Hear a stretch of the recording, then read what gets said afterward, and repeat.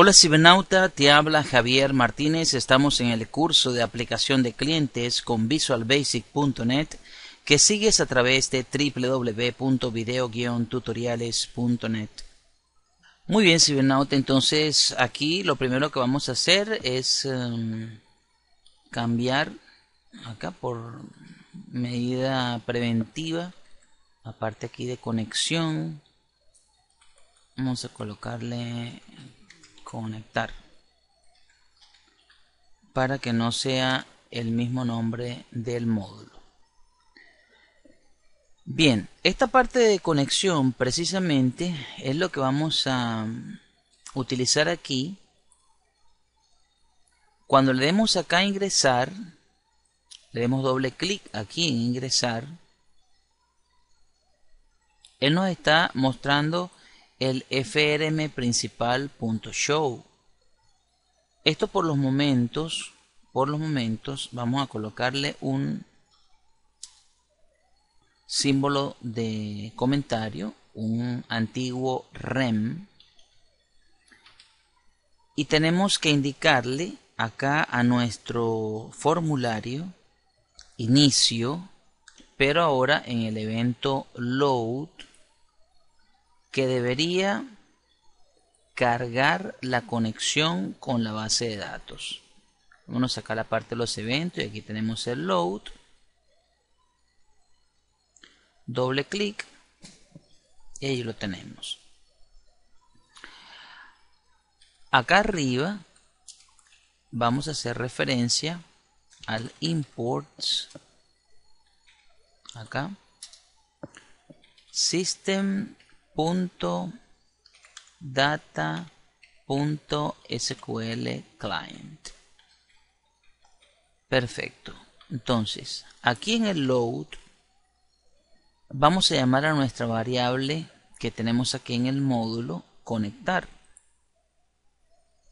Conectar. Esta variable va a ser igual a nota a una nueva instancia de SQL Connection.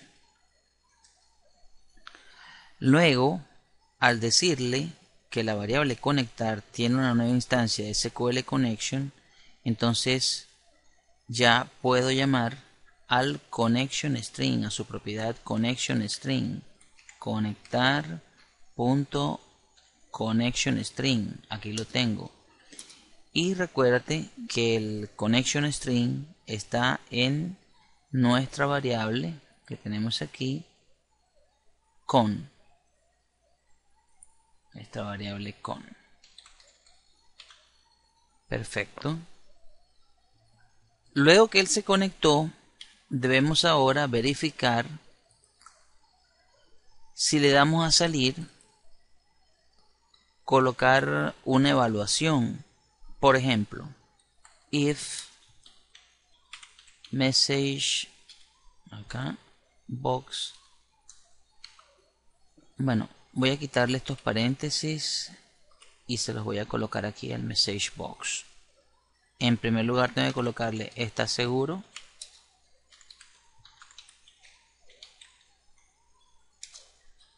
luego voy a pasarle a el msg box style.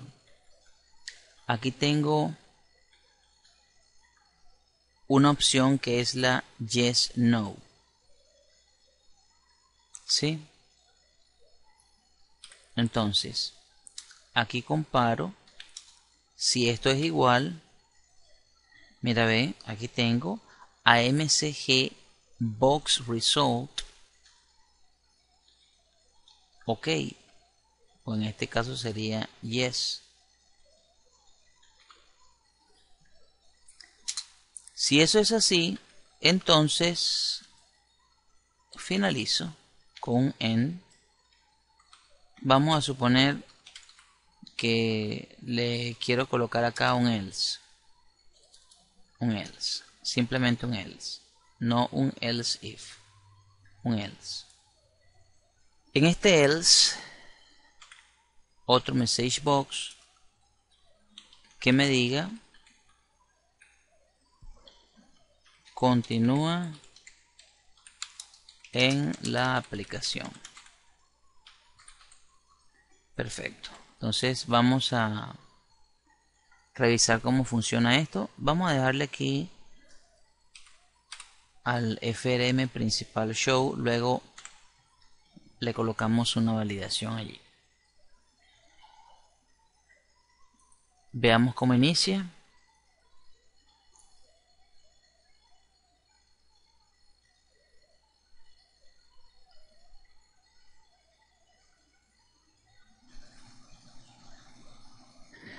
Ok, aquí tenemos un error entonces de excepción no controlada del tipo System Argument Exception. Pero aquí podemos ver en conectar Connection String que está vacío. ¿Sí? Entonces, vamos a hacer algo. A ver. Es probable que este error sea debido al data source aquí. Esto va despegado, Cibernauta. Sucedió como en el curso de CRUD MVC5 con Angular JS, donde dejé el data source pegado. Ahora sí, ¿ve? Entonces, nota que sale aquí su mensaje. Le doy aquí a salir le digo no, continúa en la aplicación, le doy a salir, está seguro, sí, y finaliza. Ok, entonces allí tenemos la primera parte. Esto no nos va a hacer falta. Estas dos líneas vamos a eliminarlas y vamos simplemente a dejar el end. Ahora, lo que sí tenemos que controlar, si ven, es la parte aquí del mensaje que va a aparecer aquí donde dice mensaje. Acá. Vamos a colocarlo aquí. Recuérdate que esta es... El texto se lo vamos a quitar.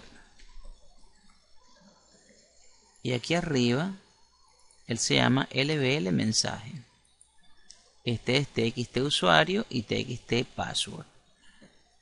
Vamos a mostrar un mensaje acá en la parte del el evento, pero del password en el validated. Esto luego lo vamos a cambiar para acá para ingresar, ¿sí? Pero esto es provisional en este video número 9. Verifico así, cibernauta. If txt usuario.text Esta es la costumbre de utilizar los mm, paréntesis de C Sharp or txt password punto text igual a vacío. Entonces él debería mostrarme acá en el lbl mensaje punto text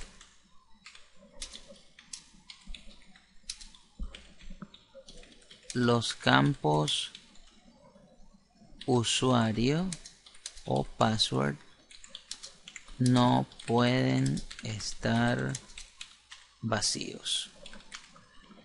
Obviamente, si Cibernauta este ejemplo con validated, con el evento validated, se va a disparar en el password. ¿Sí? Pudiéramos incluso para hacerlo un poco más elegante y de una vez tenemos aquí esto en el else. Podemos colocar aquí un else. De una vez. Y subimos a FRM principal show. Control X. Lo pegamos acá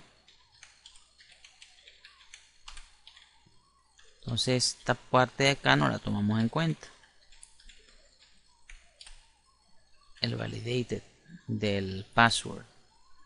Porque él debería revisar siempre y cuando se le dé clic al botón. Vamos a probar.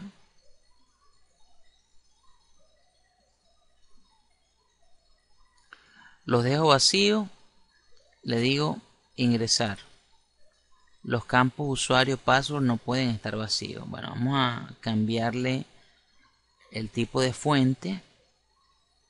Vamos a ponérselo en rojo. Y bueno nota que si coloco cualquier cosa y le digo ingresar él debería ingresar al sistema. Perfecto. Vamos entonces a corregir ese detallito allí con respecto al lbl mensaje aquí lo tenemos.